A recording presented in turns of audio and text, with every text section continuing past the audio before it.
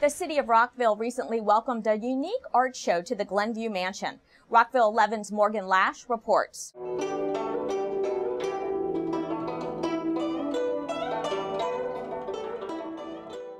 Last month, Rockville residents didn't have to travel far to experience a piece of East Asian culture. Today we're at the Glenview Mansion.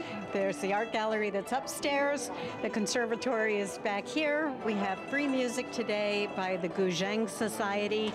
Uh, the Guzheng is an ancient Chinese instrument. It's a plucked string instrument and uh, it's been around for 3,000 years. So they're here entertaining us today. And upstairs we have the Sumi-e Society of America. They have an international show each year. Um, this year it's on the East Coast, and we were lucky enough to get them.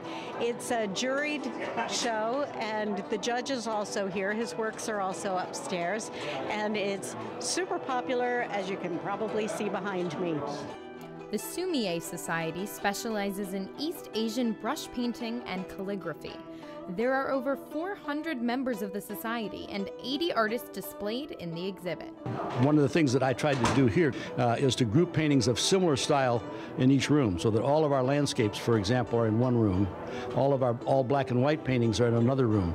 Uh, and it works very well because that way we think that when a non-Asian artist or someone that's not familiar with our style looks at multiple works done a certain way, they learn something even though no one's talking to them.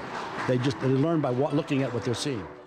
The Glenview Art Gallery will host a new exhibit for the month of October and is open Monday, Wednesday, Friday, 9 a.m. to 4:30 p.m.